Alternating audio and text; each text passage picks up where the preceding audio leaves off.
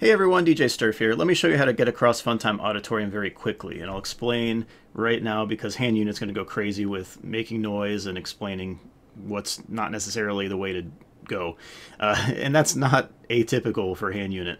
Alright, so we're going to go through this vent. It's going to be a completely black room, and you're going to see in the lower left corner, it's going to say W is crawl, which is really walk, and then Shift W for run. You're going to want to run, um, and you're going to want to run like six paces, you're going to hear the steps, okay?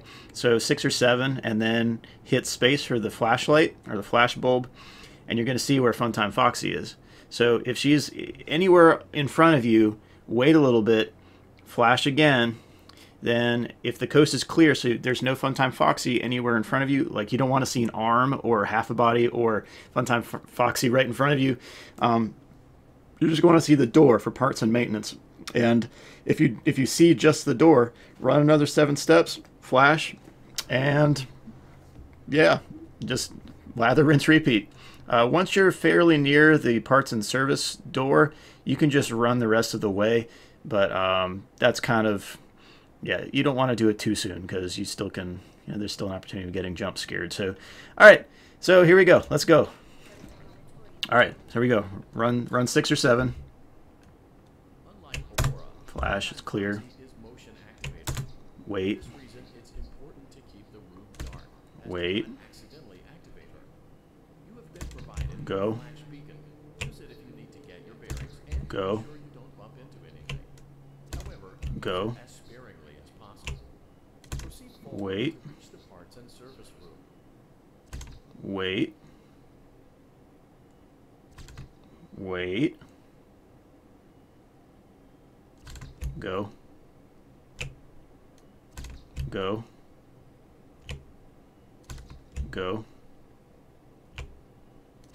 Go. I think I can go the rest of the way. Yeah, that's it. Okay, so that's how to get across quickly, and HandUnit's going to talk again, so all right, let me get off this game there. Um, all right, so that's how to do it uh, fairly quickly while running. Just make sure that Funtime Foxy isn't in front of you. Don't run into Funtime Foxy. That's the key. Uh, she will jump scare you and then it'll send you back. The nice part is you don't have to repeat the whole night, you would just repeat that one section. I'm still trying to find Lolbit, like, legit through the game, so I think that's just a random occurrence, but uh, that's one thing I've been hunting for with this Night 3.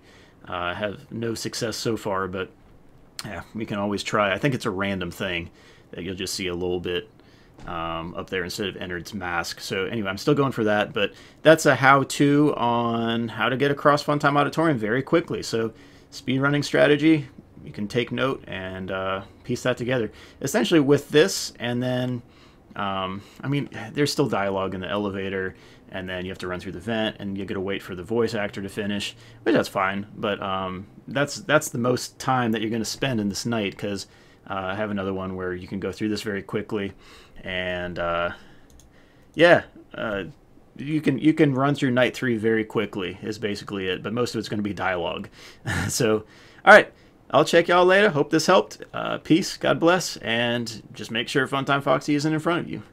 All right, check you later.